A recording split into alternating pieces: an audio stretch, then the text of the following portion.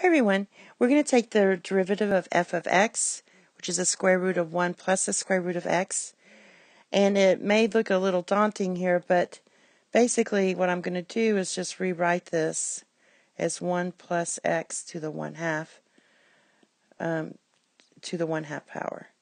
And then it's fairly easy to um, use the chain rule and take the derivative. So here we have it written down here, and we're going to take um, um, the derivative, so f, derivative of x, we use a chain rule, so we're going to move this in front, 1 plus x to the 1 half, and this would end up being negative 1 half. So that's your outer function, and then you take the derivative of your inner function, and the derivative of your inner function, this would just, the 1 would go to 0, so you have 1 half x to the negative 1 half. All right? Um, so that's it. And if you want to simplify this, this would be uh, 1 over 1 plus x to the 1 half. 1 over 2 times this. And this is to the 1 half.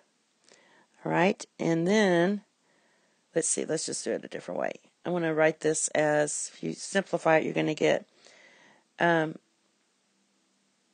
1, and you put the 2 down here. All right, and then you're going to take, um, this whole piece goes down 1 plus x to the 1 half, and you just change this to a positive, so this. And then we have this piece, which is going to oh, don't forget your 2, times 2x to the 1 half. So this simplifies. We can multiply the 1 half times 2. That's going to equal to 1 fourth. And then if I do this piece next, that's going to be 1 over square root of x. Taking this piece here, sorry. And then this piece here would just be 1 over square root of 1 plus square root of x.